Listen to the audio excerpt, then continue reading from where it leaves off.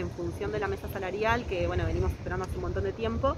veníamos esperando hace un montón de tiempo, así que bueno, desde esa asamblea la semana pasada surgió poder hacer una asamblea unificada con todos los sectores para esta semana, para el día de hoy, considerando digamos que ayer eh, el cuarto intermedio de la primera mesa era ayer, obviamente el gobierno fue el gobierno y fue sin una propuesta concreta, digamos, que nos sirva a los trabajadores. Nosotros ya hemos planteado que no vamos